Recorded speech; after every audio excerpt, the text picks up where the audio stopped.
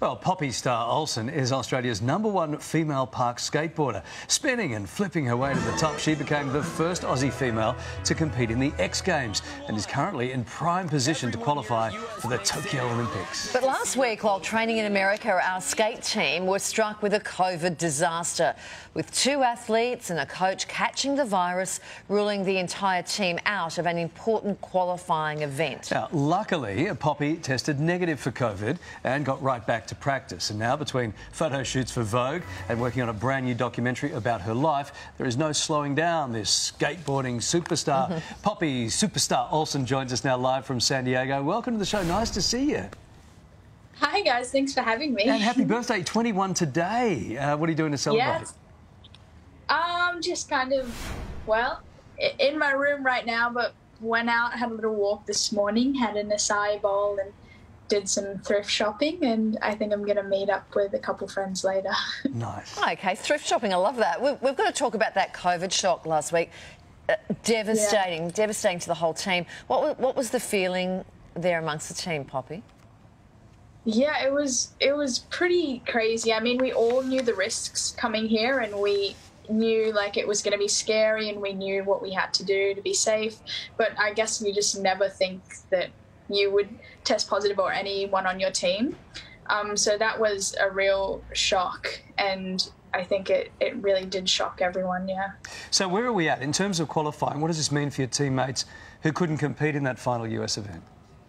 Yeah, so there was a couple of my buddies that really needed the points to get into the Olympics on that last qualifier, and unfortunately, um, they missed out. Even though a, a lot of us were negative, um, they just missed out, which was really unfortunate because we just needed that last competition. Mm. But you've already qualified, haven't you? You've got the points.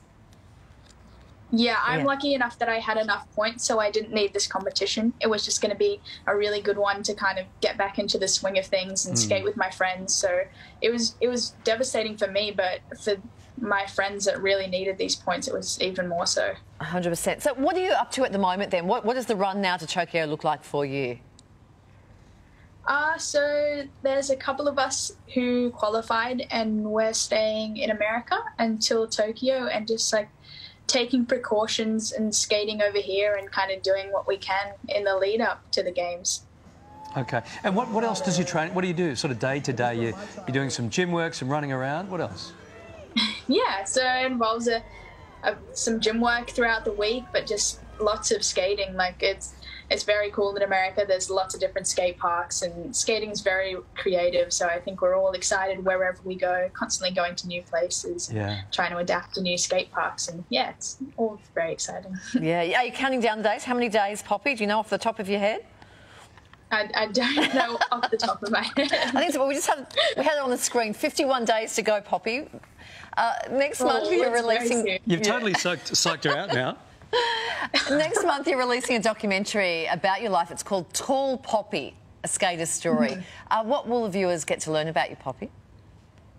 Yeah, so it's a bit of a, a coming of age story. Uh, it started off with just me skating and my lifestyle, and then the Olympics came into things, and then it's kind of got like a little twist. So you have to keep watching to the end, and then it becomes, yeah, a coming of age story. So yeah. it'll be very exciting. We're in the doco. we help make you famous here on the show. Anyway, yeah. You've also appeared in this fantastic spread for Vogue. What was that like to shoot? Yeah, um, it was super exciting. Like I when they told me about it, I thought it was insane. I mean, I never thought I'd, I'd be in Vogue. It, so it was very cool. I got like some of my friends to come and I felt the most expensive I ever have in these clothes skating and I didn't want to fall and ruin yeah. them. But yeah, it was super exciting.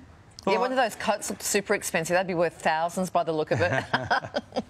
oh yeah, ridiculous. Oh, Definitely, well, I felt pricey. Well, Poppy, all amazing. the best for the uh, incredible days ahead. We're right behind you. And thanks for bringing back the puka shell necklace, too. I appreciate that. Thank there you. it is. My mum made Lovely to see you, Poppy. Good luck. Thank you so much for having me.